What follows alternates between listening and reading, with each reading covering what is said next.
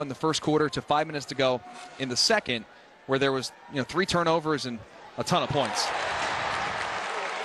Cincinnati really amazed. Yeah. Eddie Martin talked about that with us as Tion Green goes in motion. And that pass is incomplete. You wonder, in terms of Martin getting excited for this game, if the carryover. And that leads the entire country. Yeah, that's a good point. They're, they're, they're moving the chains. So they do a lot more work on first and second down. Kiel on first down again to the sidelines. Ball caught again.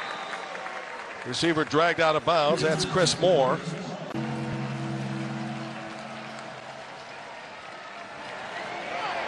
Kiel plenty of time to throw the football to the end zone. And broken up at the goal line. Well, that's what Coach Martin talked about to us before the game. It's all day to throw. But look at him. He's looking to his right, looking to his left. He comes back and he waits too long, and it allows the safety, Tony Reed, to come over. That come back to haunt him. Oh, yes.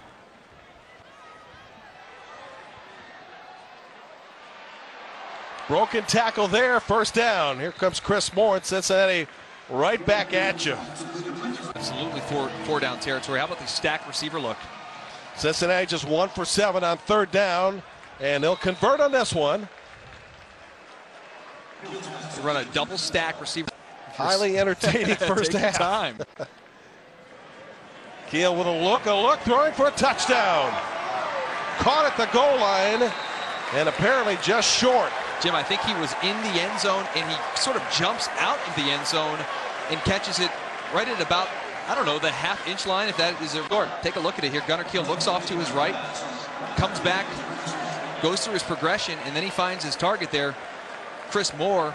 I thought initially it was going to be a touchdown, but he, his body. In moment- fact, it's been ruled a touchdown, but it's going to be looked Yeah. at again.